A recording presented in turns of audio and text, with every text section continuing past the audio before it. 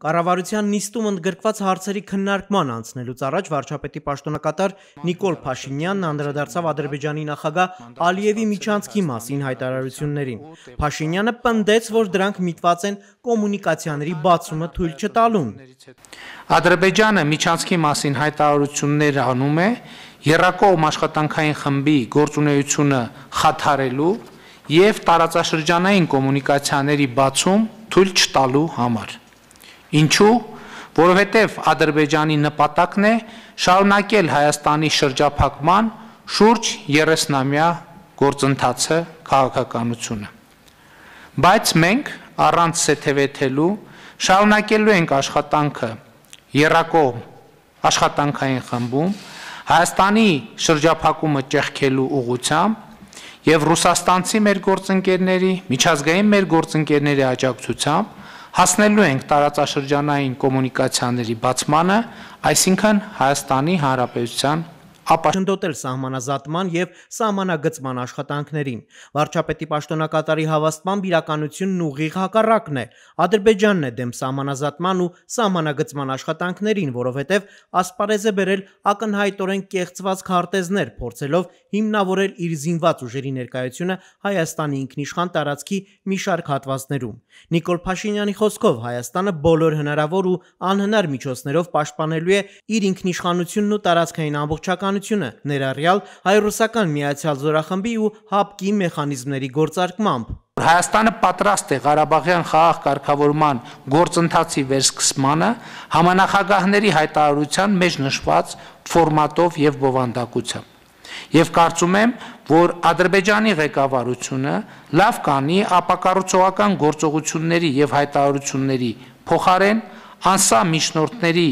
հորդորներին եւ նույնպես հստակ դիրքորոշում հայտնի համանախագահների հայտարարության վերաբերյալ։ Հստակ է, որ մենք նախանձախնդիր հետապնդելու ենք Արցախի ժողովրդի ինքնորոշման իրավունքի իրականացմանը։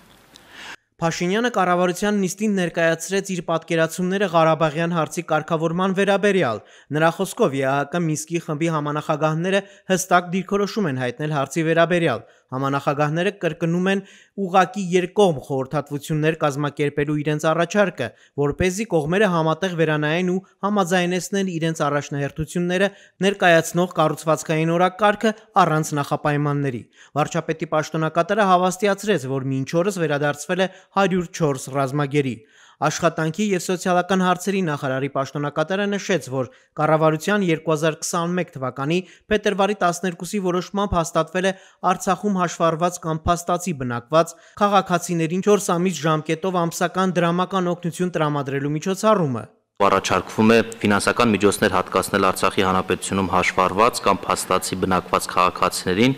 4 ամիս ժամկետով ամսական դրամական օգնություն տրամադրելու միջոցառման շրջանակներում 2021 թվականի հունիս ամսվա համար աջակցություն տրամադրելու նպատակով։ Խոսքը 68000-ական դրամ դրամական աջակցությունների մասին է, որոնք շահառուներին արդեն իսկ վճարվել են մարտ-մայիս ամիսների համար։ Հունիս ամսվա համար հատկացվող միջոցների հաշվին վճարվելու է խնդրող առարկա միջոցառման շրջանակներում շահառուներին վերջին հունիս ամսվա, իսկ առանձին շահառուների դեպքում նաև նախորդ ամիսների դրամական օգնությունը։ Կառավարությունը վերաբաշխում կատարեց 2021 թվականի պետական բյուջեի մասին օրենքում։ Դրանով Արցախի հանրապետությունում հաշվառված կամ փաստացի բնակվող քաղաքացիներին կտրամադրվեն հունիս ամսվա համար անհրաժեշտ ֆինանսական միջոցները։ Կառավարության որոշմամբ զույգ համարանիշերի կորստի դեպքում օգտագործողին իր ցանկությամբ պետական турքի 12000 դրամ վճարի դիմաց կհատկացվի նոր համարանիշերի կրկնօրինակը։ Սրանով կբացառվի համարանիշերի գողությունը եւ դրանք փրկագնի դիմաց հետ վերադարձնելը։ Հայք Հովանեսյան, Աղաբեկ Սիմոնյան, Ալիք մեդիա։